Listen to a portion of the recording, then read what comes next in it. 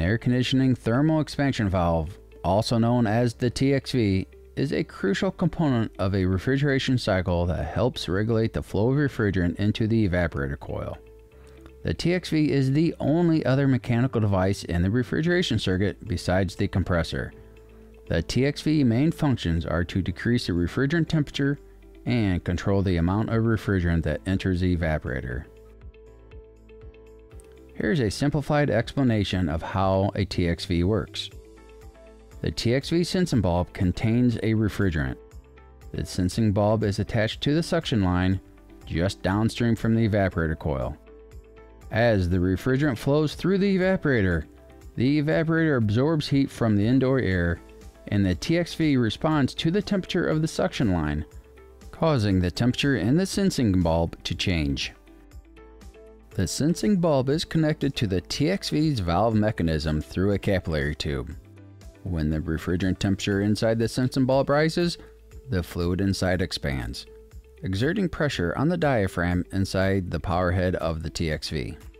The pressure exerted on the diaphragm modulates the opening of the TXV's valve by moving the push pin.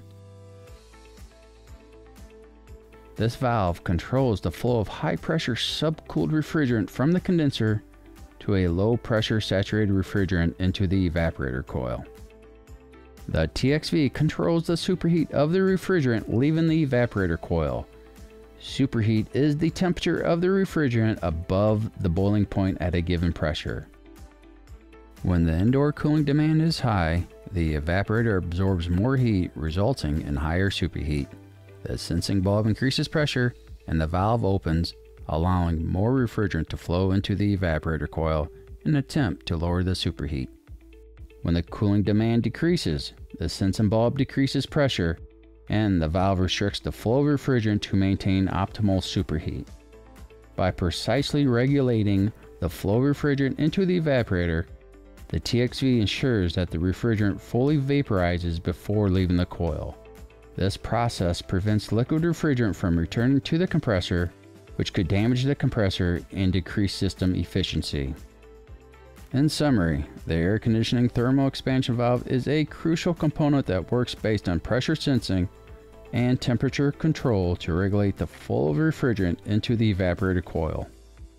By doing so, it optimizes the cooling process, ensures efficient dehumidification, and protects the compressor from potential damage.